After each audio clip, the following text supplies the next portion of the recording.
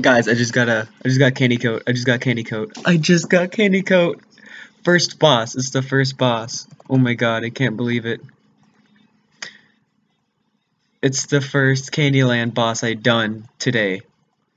Thank you guys for opening so much.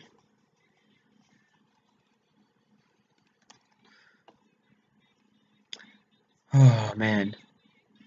Alright, I'm gonna do another video later on today. So thank you so much for seeing this. I'll make another video soon. Bye guys.